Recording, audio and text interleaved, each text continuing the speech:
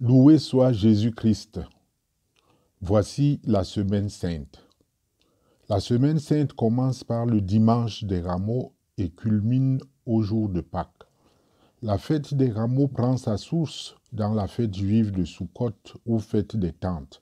Les Juifs faisaient mémoire de leur traversée du désert, période durant laquelle ils vivaient sous des tentes et des cabanes.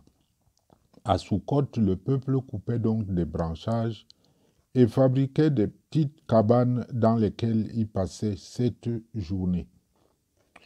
La mémoire de l'entrée en Terre sainte était ainsi célébrée dans la joie et les chants. Hosanna au plus haut des cieux, béni soit celui qui vient au nom du Seigneur. C'est le psaume 117. Jésus entre dans Jérusalem ce jour-là, et à sa vue, le peuple accourt vers lui avec des acclamations comme vers un sauveur. Après Sukkot, c'est la Pâque juive, la Pessa. L'Évangile relate les faits qui vont se dérouler pour Jésus entre les deux fêtes. C'est ce temps que l'Église a retenu comme semaine sainte. C'est véritablement une semaine extraordinaire. De lundi saint à mercredi saint, c'est le temps qui représente le rongement de nos cœurs par la tentation. Après, le peuple agira comme nos cœurs, versatile à souhait entre l'alliance et le divorce. Viendra ensuite la chute et la trahison le soir du jeudi saint. Jésus, qui voit les choses venir, laisse ce soir-là son testament. Vous ferez cela en mémoire de moi et il fait la grande prière dite sacerdotale.